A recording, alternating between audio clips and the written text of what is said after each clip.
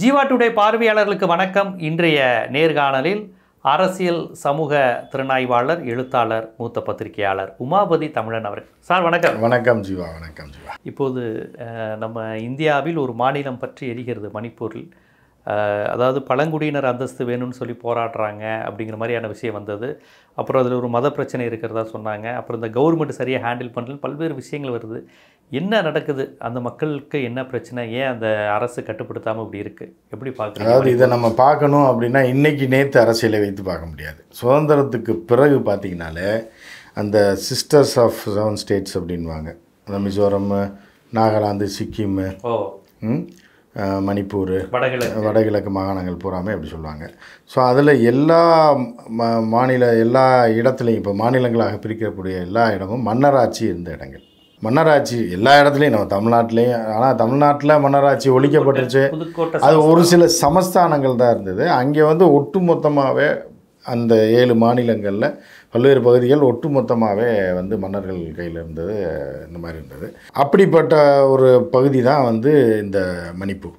இந்த மணிப்பூர் வந்து என்னென்னா மெய்தாய் அப்படின்னு சொல்லி ஒரு இனக்குழு இருக்குது. இந்த மணிப்பூருக்கு முதல் பேரே மெய்தாய் ஜியாங்க அது வரும். இந்த இவர்களுடைய இந்த இனக்குழுவோட பேரில் தான் அந்த மாநிலமே இருந்துச்சு. ஓ மெய்கான் மெய் மெய்தாய் மெய்தாய் மெய்தாய் மணிப்பூர். மணி அது இருந்தது அதுக்கப்புறம் மணிப்பூர்னு பேர் மாறுது. ஏன்னா பல்வேறு இனக்குழுக்கள் இருக்குது சுதந்திரம் வாங்கினதுக்கப்புறம் அங்கங்கே சில அக்ரிமெண்ட்ஸை போட்டு வந்து இணைஞ்சிட்டாங்க.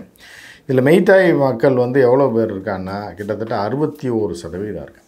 சரி. இந்த மாநிலத்திலேயே அறுபத்தோரு சதவீதம் இந்த மக்கள் இருக்கான் அதுக்கப்புறம் குக்கி அப்படின்னு ஒரு இனம் இருக்குது எஸ்டியில் அது ஒரு இருபது சதவீதம் பத்தொம்போது இருபது சதவீதம் இருக்குது அதுக்கப்புறம் பார்த்தீங்க அப்படின்னா இது நாகாஸ். இப்போ நம்ம நாகர்கள்ன்றலாம் அந்த மாதிரி அந்த மலைவாசிகளில் நிறையா பேர் அந்த நாகா அப்படின்றது ஒட்டி வரும். நாகாங்கிற இடம் தான் இந்திய துணைக்கண்டம் முழுவதும் பரவி இருந்தது. அவர்கள் தமிழர்கள் அப்படின்னு ஒரு தேதி இருக்கு. இது அம்பேத்கரே சொல்லியிருக்காரு. சொல்லியிருக்காரு இல்லையா? அந்த வகையிலான அந்த நாகா பழங்குடியினர் ஒரு இருபது பர்சன்ட் இருக்காங்க. ஸோ வந்து என்னாச்சு? மொத்தம் நூறு பர்சன்ட்டில் ஒரு ஒன்று ரெண்டு பர்சன்ட் இந்த வெளியூரில் வெளியூர்லேருந்து அங்கே வேலைக்கு போக மாட்டான் அவ்வளோவா. அந்த பர்சன்டேஜ் கணக்குலலாம் அங்கே ஆள் கிடையாது. ஏன்னா அங்கே உள்ளவர்களுக்கே வேலை கிடையாது. அவர்களுக்கே எல்லாமே ஆதிவாசி மக்கள் தான் ஷெட்யூல் ட்ரைப்ஸ் ஆதிவாசினா நீங்கள் இந்த ட்ரெஸ்ஸே இல்லாமல் இது அப்படி கிடையாது. அவர் அதாவது பூர்வீக குடிகள். குடிகள். ஏன்னா ஷெட்யூல் ட்ரைப்ஸ் இந்த மூன்று பேருமே மலைப்பகுதியில் இருக்கிறதுனால மூன்று பேருமே ஷெட்யூல் ட்ரைப்ஸை கிளைம் பண்ணுறான் ஷெட்யூல் ட்ரைப்ஸாக இருக்கான். இருக்கான் சுதந்திரத்துக்கு முன்னாடி வரைக்கும். ஏன்னா எங்கு அது வந்து இந்த பிளெயின்ஸு பிளாட்டோஸ் ஹில்ஸ் அப்படின்வாங்கல்ல அதாவது மலையும் மலை சார்ந்த இடத்த பிளாட்டோன்னுவாங்க மலையை வந்து ஹில்ஸுன்னுவாங்க uh, தரைப்பகுதியை வந்து பிளெயின்ஸ் அப்படின்னு சொல்லுவாங்கள்ல இங்கிலீஷில். அந்த மாதிரி இது வந்து எப்படின்னா பிளாட்டோவும் ஹில் ரீஜன் இது ரெண்டு கலந்தது. எல்லாமே அடர்ந்த காடுகள் சரியா? பெரிய நகரங்கள்லாம் அப்படியே ஓப்பனில் பெருசாலாம் இருக்காது. எல்லாமே அந்த ஊட்டி மாதிரி ஒரு மாநிலம்னு வச்சுக்கோங்க. ஒரு மாநிலமே ஊட்டி மாதிரி இருந்தால் அப்படி இருக்கும்? அந்த கிட்டத்தட்ட அந்த சீதோஷ்ண நிலை ஃபுல்லாவே ஊட்டி கொடைக்கானல் மாதிரி தான் மாதிரி தான் இருக்கும். ஃபுல்லாக மலங்காடுகள் அப்படின்ற ஒரு பகுதி. ஒரு வலுவான ஒரு எப்படின்னா அவர்களுக்கென்று பாரம்பரியம் கலாச்சாரம் மதம் எல்லாமே இருக்குது இந்த மதம்னா இந்து மதம்னு இப்போ எப்போ வந்தது? சுதந்திரத்துக்கு பிறகு தானே வருது. அது அது கொஞ்சம் முன்னாடி தான் வருது. அந்த பேரே வருது இல்லையா? இவர்கள் வந்து பூர்வகுடிகள் இவர்கள் அந்த இப்போ ஷெட்யூல் ட்ரைப்ஸ் நீங்கள் ஊட்டியில் போனீங்கனாலும் சரி மலைக்கு போன இந்த ஹெத்தை பகுதியில் போனீங்கனாலும் சரி அந்த படுகாசு சோ தோடாஸ் எல்லாம் பார்த்தீங்கன்னா அவர்களுடைய தெய்வ வழிபாடு வேறு மாதிரியா வித்தியாசமா இருக்கும். வித்தியாசமாக இருக்கும். திருமண முறை வேறு மாதிரியா இருக்கும். அவர்களுடைய உணவு முறை வேறு மாதிரியா இருக்கும். இதெல்லாம் அவர்களாக கண்டுபிடித்து அவர்களாக பின்பற்றக்கூடிய அவர்களுடைய மூத்தோர்கள் முன்னோர்கள் என்ன சொன்னாங்களோ அந்த மாதிரியான ஒரு வழிபாட்டு முறை இருக்குல்ல. இதுதான் அங்கே இந்த மூன்று இனத்திலே இருந்தது. எது குக்கியிலே இருந்தது நாகாலே இருந்தது ஹெய்ட்டிலே இருந்தது. அதுக்கப்புறம் இந்த ஹெய்ட்டி அதாவது இப்ப இருக்க எந்த மதத்தினுடைய பாதிப்பும் இல்லாம அவங்க தனியா ஒரு வழிபாட்டு முறை ம- அவரவர்களுக்கு அந்தந்த இனக்குழு அந்தந்த இனக்கூட்டம் அந்த இயற்கையோட அந்தந்த பகுதி. நீங்கள் ஒரு இனமாக இருந்தால் கூட இப்போ நீங்கள் வந்து நம்ம தமிழ்நாட்டை உதாரணமாக எடுத்துங்க. ஒரு ஜாதின்னு எடுத்துக்கிடுங்க. ஏதாவது ஒரு ஜாதி எடுத்துங்க. நீங்கள் வந்து விழுப்புரத்தில் அதே ஜாதிக்காரன் வேறு மாதிரியான வழிபாட்டு முறையும் அவனோட திருமணத்தில் உள்ள உ- உறவு முறை கொண்டாட்டங்களாக இருந்தாலும் சரி அந்த இது நகை போடுறது தாலி இங்கே தாலி இப்படி தான் இருக்கும். எங்களுக்கு வந்து இந்த நேரத்தில் தான் திருமணம் பண்ணணும். இந்த கடவுள்கிட்ட முதல்ல வழிபட்டு தான் திருமணம் இருக்கும். அதே ஜாதிக்காரன் வந்து திருநெல்வேலி பக்கத்தில் போயிருக்கான்னு அங்கே இதே ஜாதி பரவலாக இருக்கு இல்லையா? அவர்கள் வழிமுறை வர மாதிரி இருக்கும் இல்லையா? ஆனால் ஜாதி ஒன்றா தான் இருக்கும். ஸோ அந்த மாதிரி தான் அங்கே அதை அப்படி தான் அதை புரிஞ்சுக்கணும். அங்கே வந்து என்னென்னா இப்போ நீங்கள் சிக்கிம் எடுத்தாலும் சரி நாகாலாந்து எடுத்தாலும் சரி இது நம்ம மணிப்பூர் எடுத்தாலும் சரி இப்படி எல்லா இடத்துலையுமே எல்லாமே மலை சார்ந்த பகுதி. அங்கே தேயிலை விவசாயம் தான். பெரும்பாலான இந்த ஏழு மாநிலங்களில் ஒரு நாலு மாநிலங்களில் தேயிலை தான். அசாம் எடுத்துட்டிங்கன்னா கூட தேயிலை தான் முக்கியமாக இருக்கும். அசாம் வந்து பெரிய மாநிலம். இந்த ஐந்து சிறிய மாநிலங்களுக்கு எல்லையை வந்து பகிர்ந்து கொண்டிருக்கிறது அசாம். ரைட்டா அதுக்கப்புறம் மீதி எல்லாமே சின்ன சின்ன மாநிலங்களாக இருக்கும். இதில் என்னென்னா சுதந்திரத்திற்கு அப்புறம் வந்து அரசியல் அறுவடை பண்ணுறதுக்கு இந்த அரசியல்வாதிகளுக்கு அங்கே எதுவுமே கிடையாது. ஏன்னா ஒரு ஸ்டேட்டில் ஒரு எம்பி. அங்க. ஆமாம் முப்பது நாற்பது தான் இருக்குமா? ஐம்பது அவ்வளோதான் ஐம்பது அவ்வளோதான் இருக்கும். ஆனால் இப்போ ஐம்பதாக இருந்தாலும் தோ வாக்கா இப்போ நம்ம இதுலலாம் பார்த்தீங்கன்னா மூ மூணு லட்சம் வாக்கு கிட்டலாம் இருக்குது சட்டப்பேரவை. ஆமா. அஹ், உறுப்பினருக்கான வாக்குகள் வந்து அதாவது அந்த பாப்புலேஷன் வந்து கிட்டத்தட்ட ரெண்டே முக்கால் லட்சம் மூணு லட்சம் இதெல்லாம் தாண்டிலாம் இருக்குது பெரிய தொகுதி இருக்குது சிறிய தொகுதி இருக்குது ஆனால் அவர்களுக்கு வந்து என்னென்னா ஐம்பதாயிரம் அறுபதாயிரம் இவ்வளோ தான் இருக்கும் ஹையஸ்ட்டாகவே ஓ. ஐம்பதாயிரம் அறுபதாயிரம் எழுபதாயிரம் இப்படி தான் இருக்கும். சிறிய மாநிலம் சிறிய தொகுதிகள் குறைந்த அளவிலான விருதுநகர் தேனி அந்த மாதிரி ஒரு ஒரு அந்த. மாதிரியே இருக்கும். அது மாதிரி இருக்கும். சிறிய மாநிலங்கள் ஒவ்வொன்றும் கொஞ்சம் பெருசாக இருக்கும் கொஞ்சம் இதாக இருக்கும். அப்படி இருக்கும்போது என்ன ஆகுது அப்படின்னா இவர்களுக்கு அரசியல் அறுவடை செய்ய முடியல. அது காங்கிரஸாக இருந்தாலும் சரி அதற்கப்புறம் வந்து ஜனதாதளமாக இருந்தாலும் சரி ஜனதாவாக இருந்தாலும் சரி ஏன்னா. எந்த யார் வந்தாலும் இவர்களுக்கு அரசியல் அறுவடை அங்கே செய்ய முடியாது. எதனால? அதான் ஒரு எம்பி சீட்டை வச்சு இவன் ஜெயிச்சான்னா தோத்தான்னா இவனை வச்சு நம்ம கட்சிக்கு என்ன வளர்ச்சி இருக்குது இப்போ நீங்கள் தேசிய அளவில் நீங்கள் ஆட்சி அமைக்கணும் அப்படின்னா இவர்கள் ஒரு சில்லறையா கட்சியாக கூட யூஸ் ஆக மாட்டான். அது போக என்னென்னா அங்கே உள்ளவர்கள் இந்த தமிழ்நாடு மாதிரியும் கேரளா மாதிரியும் ஆந்திரா மாதிரி என்னென்னா மண்ணின் மைந்தர்கள் அவன் சார்ந்த கட்சிக்கு தான் ஓட்டு போடுவான் ஸ்டேட் அந்த மாநில உணர்வு. உணர்வு உள்ளவனுக்கு தான் ஓட்டு போடுவான். அதுக்கப்புறம் என்ன அப்படின்னா இந்த காங்கிரஸ் அகில இந்திய கட்சியாக இருந்ததுனால காங்கிரஸ் ஓரளவுக்கு அவர்கள் ஆளும் மாநிலத்தில் அவர்கள் ஆட்சியை பிடிச்சிடுவான் காங்கிரஸ் எதிர்க்கட்சியாக இருக்கும். இல்லை காங்கிரஸ் பல நேரங்களில் ஆளுங்கட்சியாக இருக்கும். அவர்கள் அந்த மண்ணின் மைந்தர்கள் சார்ந்த கட்சிகள் இப்போ திமுகன்றோம் இப்போ திராவிட கட்சின்றோம் இவர்கள் எதிர்க்கட்சியாக இருப்போம் இப்படி தான் அங்கே பரவலாக போயிட்டு இருந்தது நீண்ட காலமாக காங்கிரஸ் ஆட்சி காலத்தில் இருந்தபோதும் இவர்களுக்கு எதுவுமே செய்யலை. இப்படி போயிட்டுருக்கு. ஏன்னா அரசியல் அறுவடை பண்ண முடியல. இவர்களால் மத்தியில் உள்ள கட்சிகளுக்கு காங்கிரஸாக இருந்தாலும் பாஜக இருந்தாலும் இவர்களுக்கான ஜனதாவாக இருந்தாலும் இவர்களுக்கான ஒரு சோர்ஸ் இல்லை.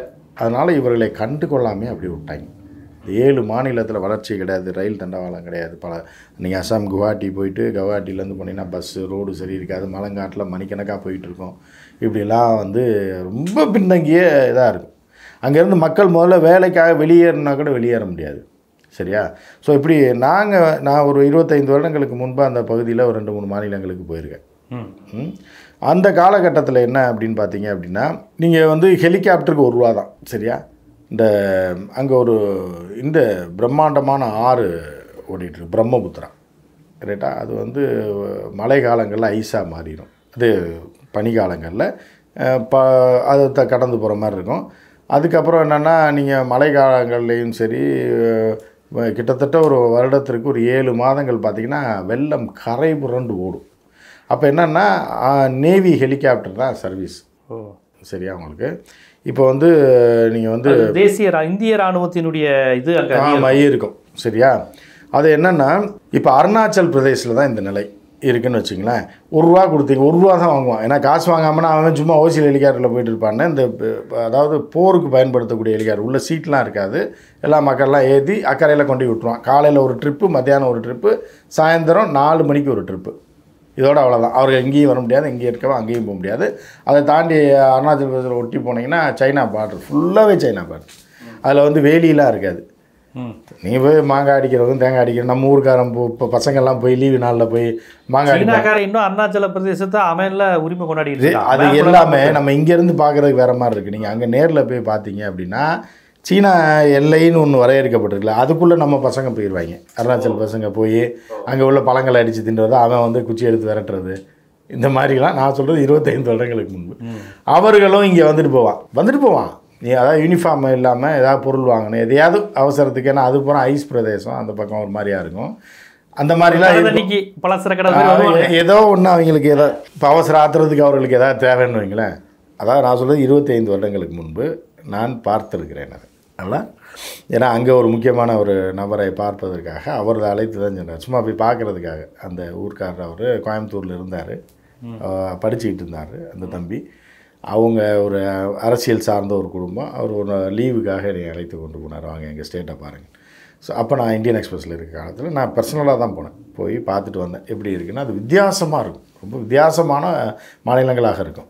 இது போக என்ன பண்ணுவான்னா நீங்கள் கவுஹாத்தியில் இறங்கின உடனே ட்ரெயினை விட்டு இறங்கி அடுத்த ட்ரெயின் மாறுறீங்க இல்லை அடுத்து மாறுறீங்கன்னா ரயில்வே ஸ்டேஷன்லேயே இந்த போலீஸ்காரர்கள் செய்யக்கூடிய அநியாயம் அராஜகம் இருக்குது பார்த்தீங்களா? அதை வந்து கணக்கிலே எடுக்க முடியாது. என்ன என்ன பண்ணுவாங்க? பசங்க போகிறாங்கன்னு வைங்களேன். இப்போ இங்கே கோயம் கொஞ்சம் வசதியான பசங்க அங்கேருந்து வந்து இங்கே படிப்பான். தமிழ்நாட்டில் வந்து படிப்பான். பெங்களூரில் வந்து படிப்பான். அப்போ பெங்களூர் பெருசாக இல்லை. தமிழ்நாடு தான் இன்ஜினியரிங் காலேஜ் அதிகமாக இருக்கனால கோவையில் உள்ள இன்ஜினியரிங் காலேஜில் நிறையா அங்கே லிங்க் இருந்தது. நிறையா பசங்க வந்து படிப்பாங்க. ஒரு பத்து ஐம்பது பேர் படிப்பான் இந்த மாதிரி பல்வேறு மாநிலங்கள் டெல்லி போகிறேன் வரேன் ஸ்டூடெண்ட்ஸ் அங்கங்கே போவாண்ட ஒரு ஆயிரக்கணக்கில் இவர்களே கரெக்டாக போலீஸ் ம். இராணுவ கட்டுப்பாட்டில் தான் அங்கே ஃபுல்லாகவே பல மாநிலங்கள் இருந்தது. ஏன்னா ஒவ்வொரு மாநிலத்திலையும் தனிநாடு கேட்ட போராட்டங்கள் பல்வேறு அந்த செவன் சிஸ்டர்ஸில் கிட்டத்தட்ட ஐந்து மாநிலங்களில் தனிநாடு கேட்டு போராட்டம் அசாமே தனிநாடு கேட்டு போராடின ஒரு மாநிலம் தான். அப்படி இருந்த காலத்தில் இராணுவ கட்டுப்பாட்டில் தான் அது ஃபுல்லாகவே இருந்தது. எப்போயுமே இராணுவம் இருக்கும். அப்போ என்னென்னா அந்த ரயில்வே ஸ்டேஷனில் போனோன்னா அவங்க பேக்கை செக் பண்ணுறேன்னு சொல்லி திறந்து நீங்கள் வச்சுருக்க பேஸ்ட்டு ப்ரெஷ்ஷு பேஸ்ட்டு பிஸ்கெட்டு வீட்டுக்கு எதாவது வாங்கிட்டு போவீங்கல்ல. இந்த ஊர்லேருந்து போகிறோம் பசங்க வீட்டுக்கு எதாவது வாங்கிட்டு போவான் வினோதமான பொருட்கள் வச்சுருந்தாங்க கால்குலேட்டர் இதெல்லாம் போலீஸ் பிடிங்கிருவான் ம். பிடிங்கிட்டு தட்டி விட்ருவான் நீங்கள் கேட்கவே முடியாது. அவனுக்கு தேவையான பொருளாக எடுத்துகிட்டு போடான்னு தட்டி விட்ருவான் நல்ல பேண்ட்டு சட்டை இருந்தால் கூட போலீஸ்காரன் எடுத்துக்குவாங்க. அந்த மாதிரி ஒரு கேடு கட்ட எடுத்துக்குவான். நல்லா இருக்குது புதுசாக இருக்குது எங்கே வாங்கினா எல்லாம் எடுத்துகிட்டு போடான்னு துரத்தி விட்ருவான் இதை தாண்டி நீங்கள் போய் கம்ப்ளைண்ட் கொடுக்க போனீங்கன்னா அதெல்லாம் தூக்கி போட்டு ஓடிடுவான் போலீஸ் ம் இதெல்லாம் நடந்திருக்கு நம்ம கண்ணால் பார்த்துருக்கோம். ஏன்னா பசங்க சொல்லுவாங்க மறைச்சு தான் எது புது பேஸ்ட்டு இப்போ பெரிய பேஸ்ட்டாக இருந்ததுன்னா அதை கூட அது எவ்வளோ நாற்பது ரூபா வரும் அதை கூட பிடிங்கிடுவாங்கன்னா அடியில் மறைச்சி வச்சுருப்பாங்க. புது பேண்ட்டு சட்டையை அடியில் வச்சுட்டு அழுக்கு துணியை மேலே தூக்கி போட்டு கொண்டு போவாங்க. ஸோ இந்த மாதிரியான கொடூரங்கள்லாம் அங்கே நடந்துச்சு. கேட்பாரற்ற ஒரு பகுதியாக இருந்தது. இராணுவத்துடைய கட்டுப்பாட்டில் இருந்தனால அதுவும் நிறைய அராஜகங்கள் அந்த பகுதியில் நடந்தது. இப்படி மோசமான இந்தியாவிலே மோசமாக கண்டுகொள்ளப்படாமல் பாதிக்கப்பட்ட மா மாநிலங்கள் எது அப்படின்னா இந்த செவன் சிஸ்டர்ஸ் வடகிழக்கு வடகிழக்கு மாநிலங்கள். இப்படி இருக்கும்போது என்னன்னா மதவாதிகள் உள்ளே வரான். மத மாற்றிகள் அங்கே போகிறான் லாட்ரி சீட் அதிபர்கள் அங்கே போகிறான் அந்த அரசை கைக்குள்ளே போட்டுக்கிட்டு. ஏன்னா அந்த பேர் தான் அங்கே இருக்குமே தவிர லாட்ரி சீட்டு சிவகாசியில் பிரிண்ட் ஆகும். சிக்கிம் லாட்ரி நாகாலாந்து லாட்ரி அப்படின்லாம் இப்போ கேள்விப்பட்டிருப்பீங்க. ஒரு இருபது வருஷத்துக்கு முன்னாடி. இதெல்லாம் வந்து என்னன்னா அந்த கவர்மெண்ட்டுக்கு என்ன பண்ணுவாங்கன்னா இப்போ ஒரு லாட்ரி சீட்டுக்கு வந்து அப்போ வந்து ஒரு லட்ச ரூபா பரிசு வார வார குழுக்கள் அப்படின்னு வச்சுங்களேன் இப்போ என்னென்னா மணிப்பூர் லாட்ரிக்கு மணிப்பூர் லாட்ரி இப்படின்னு எல்லா மாநிலத்திலையும் காசை கொடுத்து லாட்ரி நம்ம ஆட்கள் தான் அதையும் சம்பாரிச்சான். தமிழ்நாட்டுக்காரனும் சரி கேரளாக்காரனும் சரி. இப்போ என்ன பண்ணுவான்னா அந்த மாநிலத்தில் இப்போ மணிப்பூர்னு வச்சுங்களேன் மணிப்பூரில் ஒரு முக்கிய அமைச்சரை பிடிச்சிடும். அந்த டிபார்ட்மெண்ட் அமைச்சரை பிடிச்சா அவருக்கு தான் அது. வார வாரம் ஒ- ஒவ்வொரு நாளும் ஒவ்வொரு லாட்ரி வரும். மணிப்பூர் திங்கக்கிழமை ரெண்டாம் நம்ம ரெண்டாம் செவ்வாய்க்கிழமை ஒரு குழுக்கள் வரும். புதன் இப்போ ஐந்து நாள் ஐந்து குழுக்கிறதுக்கு ஐந்து லட்ச ரூபா பரிசுன்னு வச்சுங்களேன் ஒவ்வொரு நாளைக்கு ஒவ்வொரு லட்சம் அப்படின்னு வச்சுங்களேன் அந்த லாட்ரிகளை ஐந்து கோடிக்கு மேல் விற்றுருவான் தமிழ்நாட்டிலையும் கேரளாலையும் பார்த்தா இந்தியா ஃபுல்லாக விற்றுருவான் அதை. விற்றுட்டு அவனுக்கு ஒரு பத்து பர்சன்ட் மட்டும் கையில் கொடுக்குறோம் அமைச்சருக்கு இப்போ அஞ்சு லட்சம் பரிசுங்க. அப்படின்னா அஞ்சு லட்சம் பரிசு தொகையை நாங்கள் கொடுத்துக்குறோம். உங்களுக்கு ஒரு அஞ்சு லட்ச ரூபா கொடுத்துருவோம்னு சொல்லிட்டு ஐம்பது கோடி ரூபா அடிச்சிருவோம். ஐந்து நாளில். இதெல்லாம் கடந்த காலம் யார் யாரெல்லாம் போய் எந்தெந்த வகையெல்லாம் ஏமாற்ற முடியுமோ அந்தந்த வகையெல்லாம் அந்த மாநிலங்களை ஏமாற்றி சொற்ப காசை கொடுத்து அவர்கள் அதிகாரத்தை பயன்படுத்தி நிறையா சம்பாரிச்சுட்டு தான் இதெல்லாம் கடந்த காலங்களில் நடந்தது.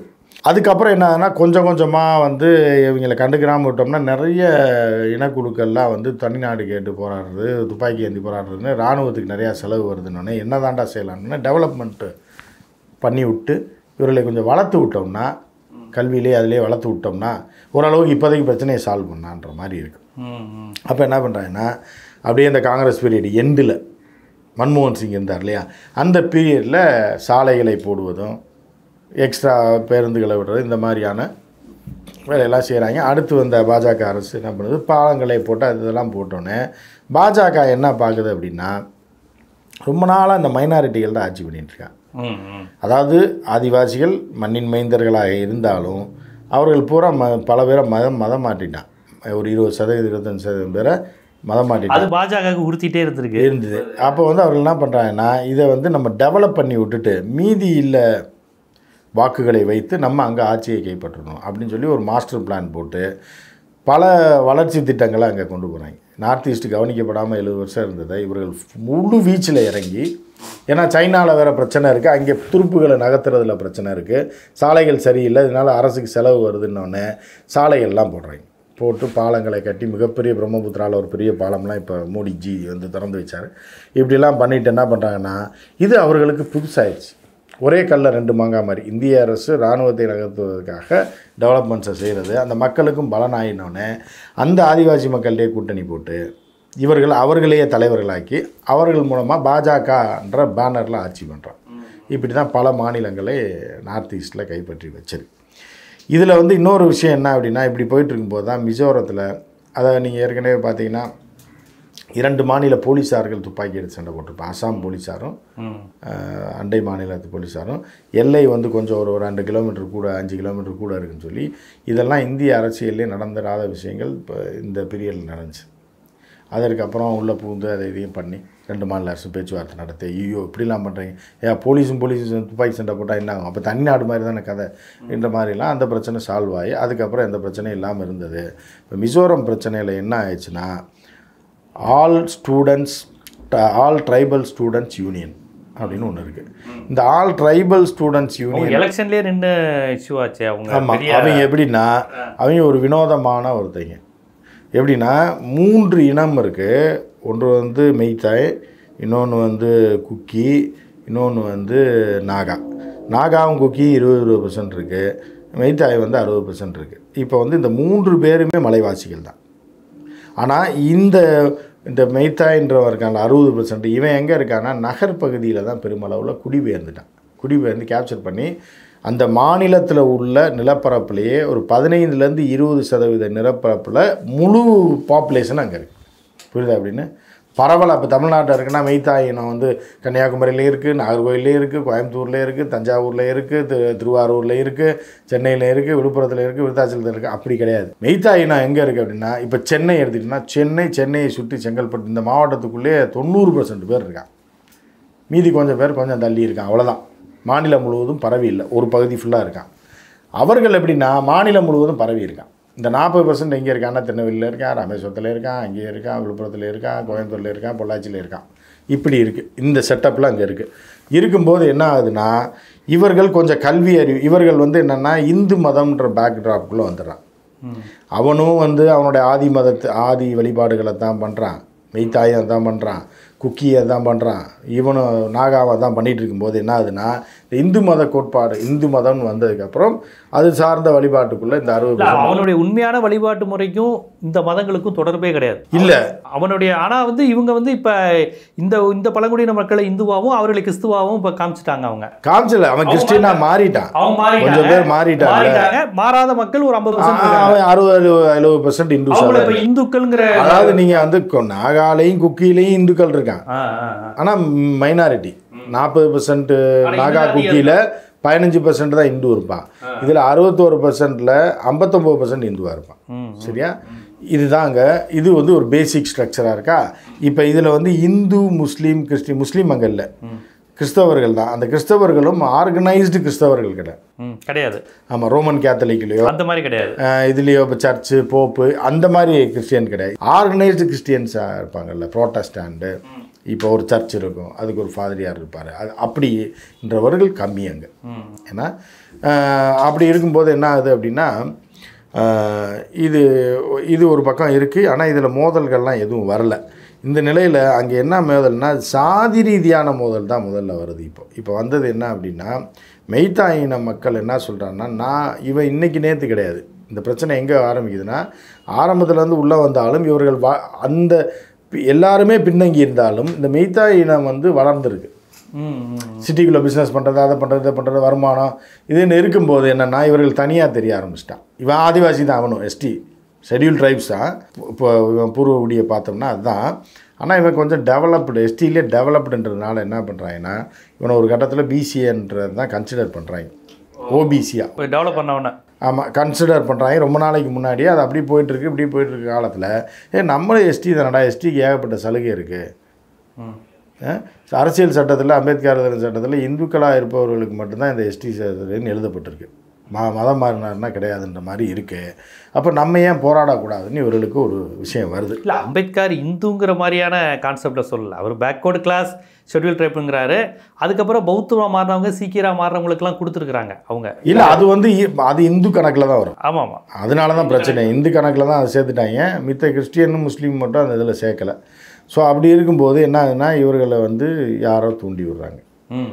அப்போ வந்து இவர்கள் என்ன பண்ணா ஹைகோர்ட்டுக்கு வழக்குக்கு போகிறாங்க யார்? மெய்த்தாய் மக்கள். நாங்களும் தான் எஸ்டி என்னையை கொண்டு போய் ஓபிசிலையும் பிசிலையும் சேர்த்து வச்சுருக்க.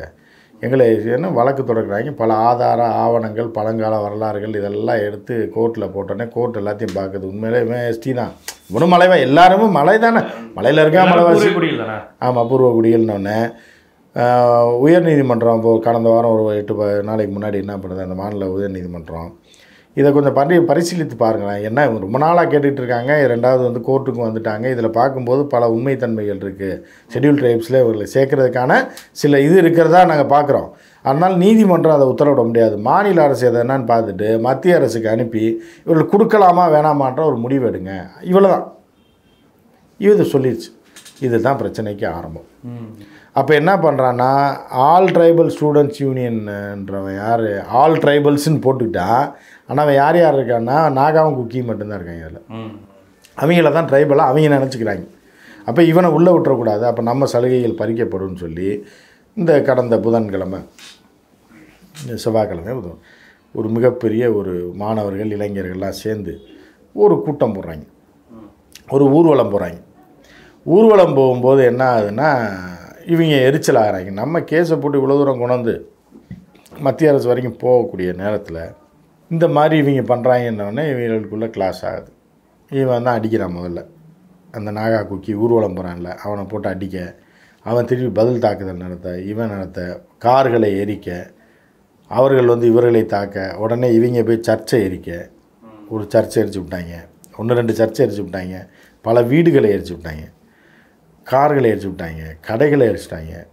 திடீர்னு மெஜாரிட்டி வேற. எண்ணிக்கையில பெருமை. மெஜாரிட்டி வேறு அந்த பகுதியில் மெஜாரிட்டி வேறு. ரைட்டா அப்போ என்ன பண்ணுறான்னா மிகப்பெரிய வரும் வன்முறை கட்டவிழ்த்தோடனே இதுவரைக்கும் மணிப்பூரில் அப்படி ஒரு வன்முறை நடந்ததே கிடையாது. இவ்வளோ தீ எங்கே பார்த்தாலும் தீ எரியுது எங்கே பார்த்தாலும் இது வருந்தது தான் மேரி கோம் வந்து ஒரு இதை போடுறாங்க. ட்விட்டரில் ஒரு பதிவு ஏஎன்ஏல ஒரு ஆன்லைன் பேட்டி பழங்குடியினர் தானே? ஆமாம் ஆமாம் எல்லாரும் போட்டோடனே அவர்கள் என்ன சொல்கிறாங்கன்னா பற்றி எரிகிறது மணிப்பூர் காப்பாற்றுங்கள் மத்திய அரசுன்னு சொல்லி போடுறாங்க. இது வந்து பெரிய இதுதான் வந்து பெரிய இஷ்யூவாக மக்களுக்கு தெரியுது.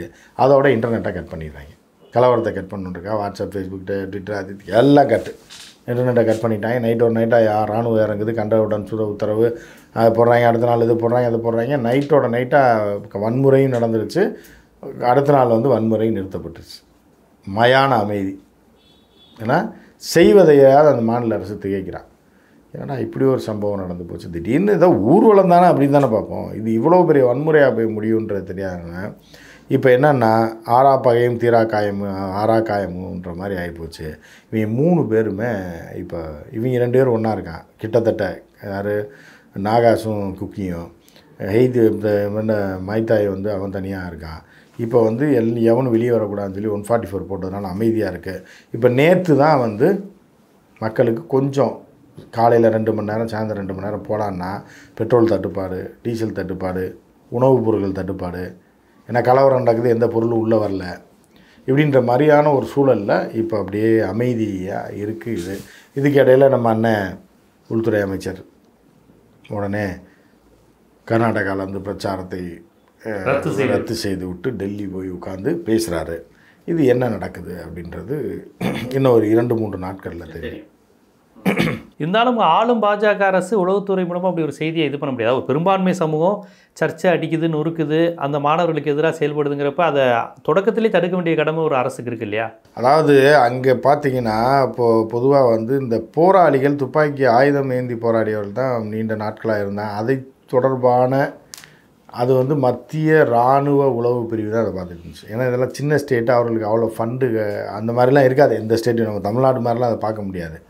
ஒன்று ரெண்டாவது என்னன்னா அந்த கட்சியோட ஆட்சியே வீக் அங்கே. ஒரு டேர்ன் ஓவரும் இருக்காது ஒன்றுமே இருக்காது. பாரதிய ஒன்றும் கண்டுக்க மாட்டாங்க. அந்த மக்களை கேடு கேட்டால் இப்போ பாரதிய ஜனதா ஆட்சி எங்கே இருக்குன்னா பேருக்கு நாங்கள் வந்துட்டோம்னு காட்டுறது தான். ஏன்னா அது ஒரு இப்போ தென்னிந்திய மக்களுக்கு தென் மாநில மக்களுக்கு என்ன செய்யும்? மிஜோரத்தில் வந்து மொத்தமே வந்து அது சென்னை சிட்டி அளவு கூட இருக்குது சென்னை சிட்டி அளவுக்கு இருக்குன்னு வச்சுங்களேன் அதில் ஜெயிச்சுட்டு இது ஒரு மாநிலமாக கணக்கு காட்டலாம்ல.